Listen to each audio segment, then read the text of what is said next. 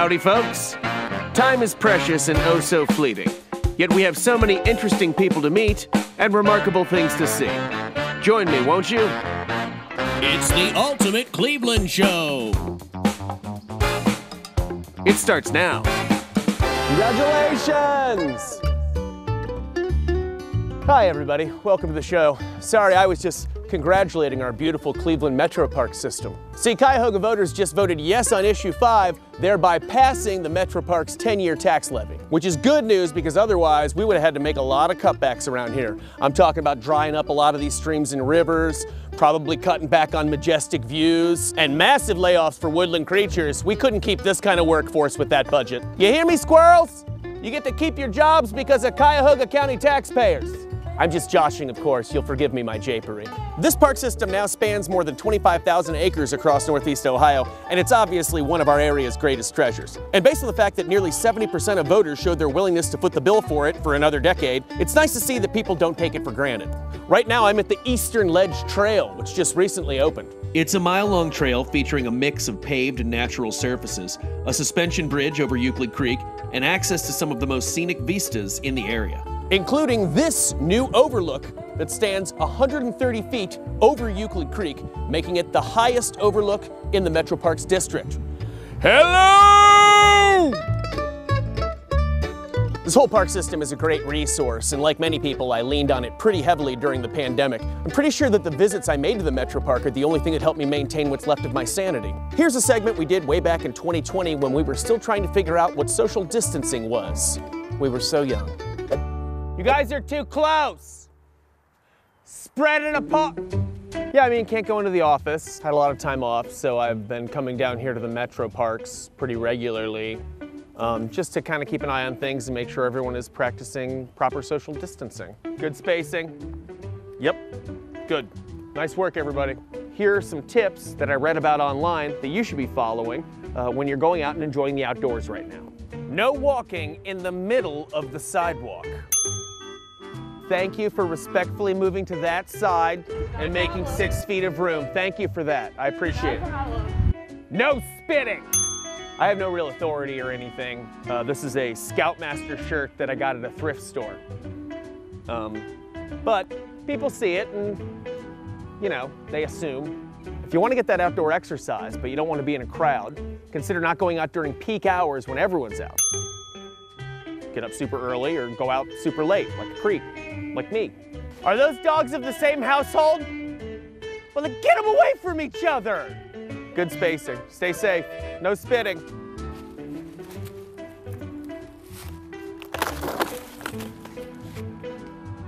All right.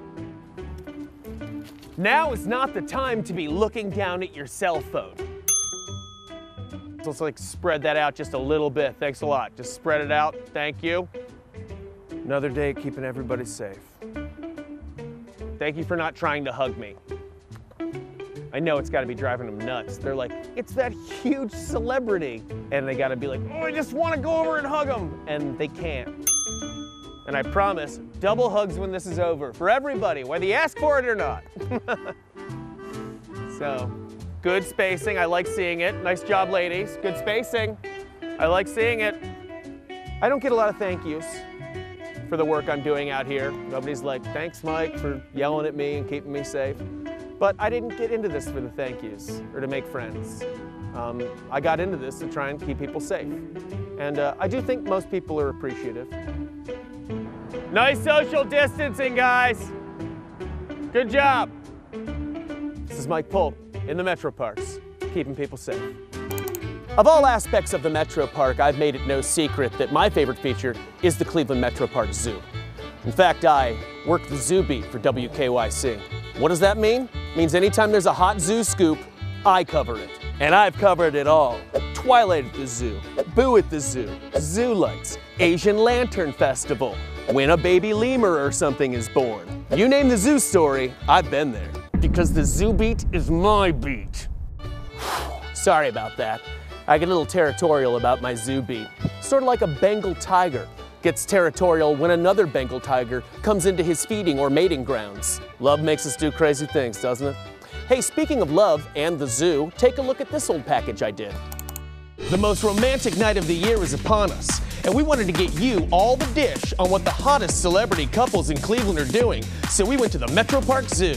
Well, this is Mickey and Sylvia, and they are our trumpeter swan pair. In general, trumpeter swans and other swans are monogamous and they mate for life, right? Monogamy is really hot right now. There's often a lot of courtship and dating. They will sort of dance to one another Okay. and present like head bobbing. And Once they connect, how do they say, you're my swan moving forward? So once they find their swan, they kind of know. You just know when you find your swan. Sounds like it should be like on a throw pillow in my sister's room. This is a really hot zoo couple. Thank you for introducing me to them. Unlike those clingy swans, our next hot zoo couple have sort of an on again, off again situation going down. But it works for them. Explain to us a little bit about the snow leopards and what makes them such a hot zoo couple. Snow leopards are a little different.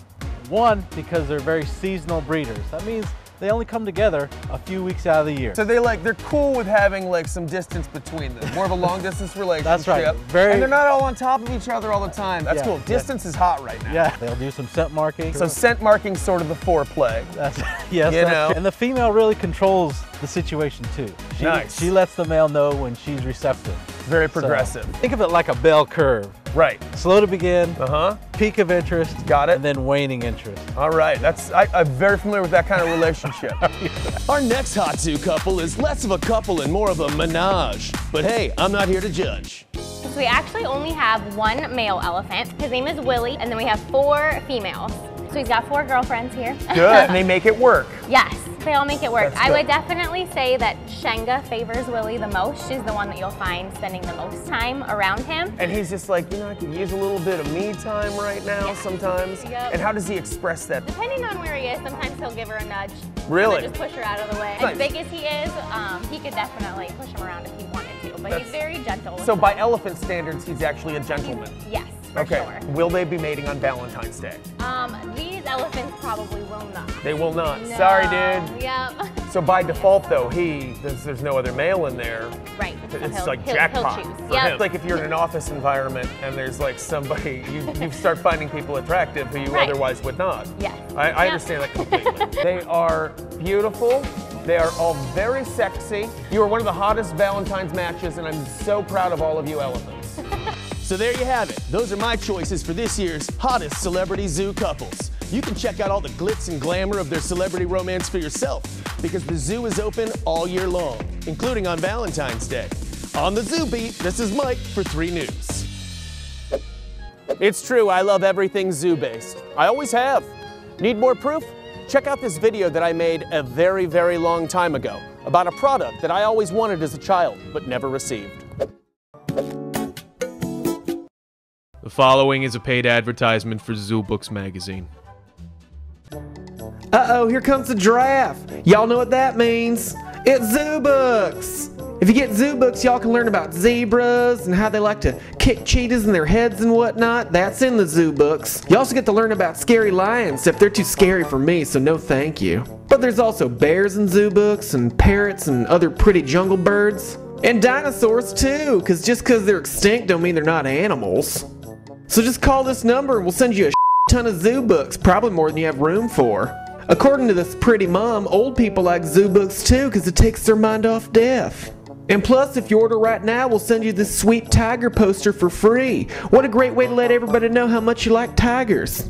Plus some stickers, and here's another zoo book. It's just $14.95, which is surprisingly expensive considering it's just some zoo books, but get them anyways. This monkey looks like some kind of clown monkey. Get zoo books today. Now, I'm obviously not the only one who loves our metro parks. In fact, my very talented friends Aaron and Adam created an entire YouTube show called The Good Outdoors about how much they love nature. I was recently a guest on it. Take a look at the sneak peek. Oh, Mike, it's a beautiful day. Thanks for joining me in the good outdoors. How are you doing today? I'm good. I'm excited to be a part of this project with you and get it over with. I was gonna say you're really excited to actually go birding. yeah, you know, I'm, I'm willing to give anything a try once, and I want to be supportive of your weird things that you do, and uh, you've done a lot for me, so let's get this over with. Well, I like to start every birding session by thinking about my favorite top five birds. What are your top five? Oh man, you're really putting me on the spot to Yeah. try and think of five birds. Well, let's go have a good time in the woods. Let's have some fun in on. there. All right. Now, Mike, there's three things you need for every birding trip. Right. You already got your binoculars. Thanks for the loaners. I got you some field notes with a pen. Okay. That way you can write down any birds that we see. Okay. But I don't have to do that though. No, but like if you go home and your friends ask, you'll be able to tell them about all the great birds we saw today. Cool, but you're not gonna be checking at the end of the day. how No, much- no, no, no. Okay, great. But the third thing, and probably the most important, is a desire to learn. Hmm, okay. Well, I got two of those things. Okay. What's like a, your favorite of all the Birds songs? I don't know if it's the best, but it's one of the easiest ones to remember. Okay. And I really think it's unique because it does sound like this. Mm-hmm. It's the Eastern Towhee, and it sounds like it's saying drink your tea. Okay, I'm gonna have to hear that. So it goes drink your tea. Oh, I'm familiar with that. Yeah. And once you, once you hear that, you really you can't get that out of your head. No, no, no. And you just know you you'll be out in the woods. and Drink your hear- tea. That's it. It's an Eastern Towhee. There is one other bird call I like a lot. We won't hear it today. We probably won't even see it, but it's the barred owl. Okay, what's that one do? Well, they have a song that kind of sounds like they're saying, "Who cooks for you?" I'm gonna have to hear And that. go. Wow. And then when they get real worked up, they do what's known as caterwauling, and they'll actually sound like demons or like terrifying monkeys at night. You're gonna do that. And They'll literally though- be like, oh, oh, oh, oh, Yeah. Mike and I's birding adventure lasted four delightful hours. We saw a bazillion birds, shared a gazillion laughs, and walked a bajillion miles. When Mike was finally ready to call it a day, we hiked back to our starting point so we could compare notes. I was happy to see that he took some, and he even wrote down his favorite bird, which was, in his words, a red one. I felt that he had shown real interest and took the experience and responsibility as a birder very seriously. So, I decided to honor him with my official Good Outdoors birding patch. And I could tell he was genuinely pleased at this. I have a feeling this isn't the last time he'll join me in this toxic dump. Until next time, I'm Adam. See you in the Good Outdoors. Haha, wasn't that fun? And that's just a tease. You should check out their whole episodes at their YouTube page right here. As we are talking about the Metro Parks, there is one place that I really wanted to congratulate as far as the strides it's made over the last 10 years or so. And so I did that just today on the wildly popular YouTube program, The Ultimate Cleveland Sports Show. Take a look. I want to say thank you to the uh, voters who approved the uh, issue five tax levy to fund the metro parks and expand the funding for the metro Ah, parks. voted for that. because they do a great job.